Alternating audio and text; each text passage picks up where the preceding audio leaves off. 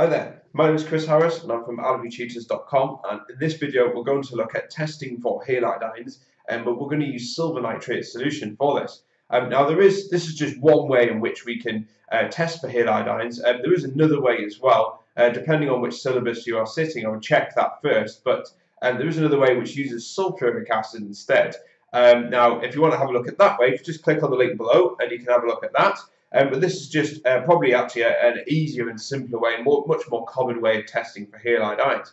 Now, halide ions are uh, basically um, halogens that have gained an, an, extra electron to form F minus or um, F minus, Cl minus, Br minus ions, etc. Now, these halogens uh, only exist uh, in solution. They can't exist, you can't get there like a pot of it and unscrew it, and then you've got some Br minus ions in there, etc. It just doesn't happen like that. And these ions um, actually uh, come about from dissolving the salt that they belong to. So, for example, Cl ions you can get from uh, dissolving sodium chloride uh, in water, and the sodium chloride will obviously break down, it will split up, and you'll have Na plus and Cl minus ions. So, all of these ions that you're going to see in this video will come from a salt such as sodium chloride, sodium bromide, etc um, that's been added to water and formed into a solution. So uh, that's what all these are here. Now, you might think, well, why do we need to test uh, for hal halide ions? Halide ions are um, dissolved in solution and they're all colourless. You can't tell. There's no distinguishing smell to them. Um, and obviously you shouldn't taste them either. Uh, they'll all taste in a very similar way, I would imagine, as well, but you should never, never taste these.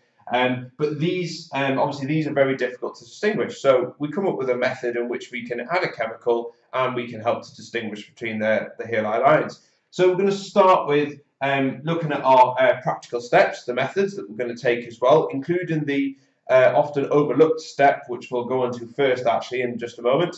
Uh, and we're also going to look at um, what you would observe and these test tubes here. Um, and uh, finally, we're going to show you the equation as well that's associated with it. So we're going to start with looking at the practical steps. Now, what we'll do is we'll take our halide ion solutions, put them into test tubes, and you can see I've got all the halide ion solutions there. And um, we're going to add um, this first step first is actually adding dilute nitric acid, which is this here. This is before we add any silver nitrate to the solution. Now, this is uh, normally overlooked, but can actually have a big impact on your uh, on your outcome and your results. The silver nitrate, um, if this if you add silver nitrate into your solution and your solution has um, carbonates and hydroxides present, then actually the silver nitrate um, will react with them and form a precipitate.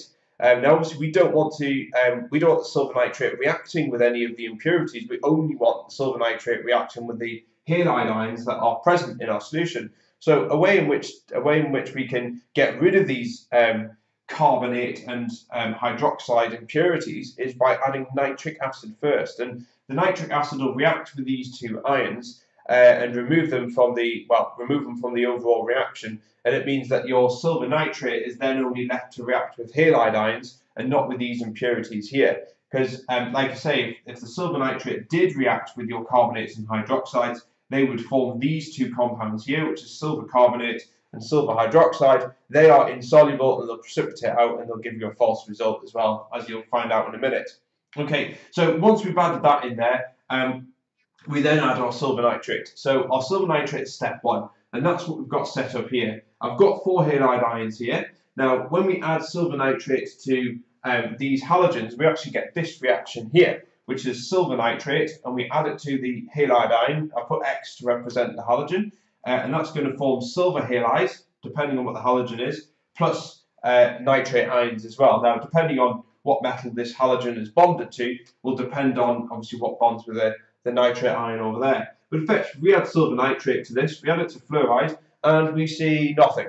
So it doesn't, nothing happens, we don't get any precipitate, nothing. So we don't see anything. Now with the chloride, we do. Um, with the chloride, we get a precipitate that starts to form in there. And this precipitate, which I will write in blue, um, this precipitate is actually um, white.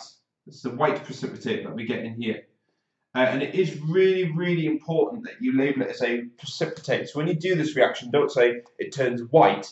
Um, you've got to be specific and make sure you form a white precipitate is formed in this reaction. Uh, if we do it with bromine, again, we add silver nitrate to it, we get a precipitate that's been formed.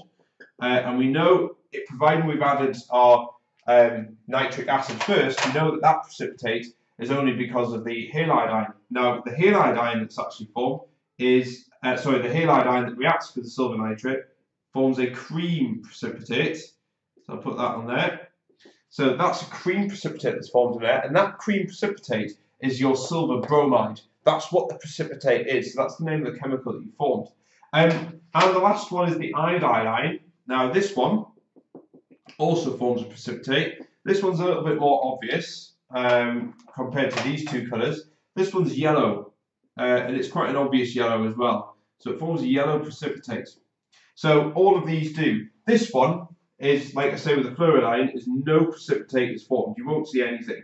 So um, there is a reaction that happens. Um, obviously, the silver nitrate will react with fluoride and it'll form silver fluoride.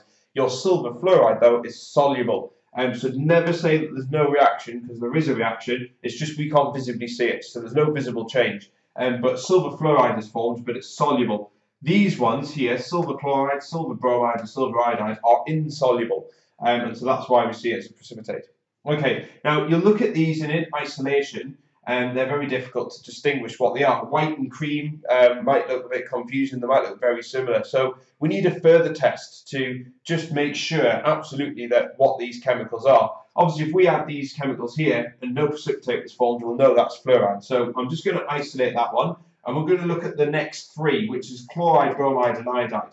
Now in here, we have our precipitates. So we take these precipitates here, and we add dilute ammonia to them first. Now what you should see, when you add dilute ammonia after step one, you should see that actually with your chloride, this stuff in here, this should disappear. So I'll put precipitate um, disappears. Or we can say dissolves. So I'll put that on there. Okay, so it disappears completely. Uh, with the bromide and iodide, we actually still have a precipitate that's present. So the dilute ammonia, adding it to these three, to all three of them, actually don't dissolve. So there's a further test. If you have a, a precipitate that's formed uh, and you add dilute ammonia and that precipitate disappears, um, then you know that your halogen has got to be chloride. With the other two, dilute ammonia doesn't dissolve them. So we can take these two. How do we distinguish between these two? All we can do is do a further test we can take these test tubes and I've brought them down here. So the bromide and iodide, I've brought these down here. Remember this is going to be cream and this one's going to be yellow. So distinguishing between these two, we add concentrated uh, ammonia and effectively what happens is with concentrated ammonia, uh, the bromide ion this time, this one does dissolve. So I'll put that on there. So that one does dissolve, the precipitate in there does but your iodide still doesn't dissolve. So what this tells you is actually your silver iodide, which is the product here, that's the yellow in there, is actually really insoluble. Um, it really struggles to dissolve in your solution. Your bromide, silver bromide, will dissolve um, just with concentrated ammonia.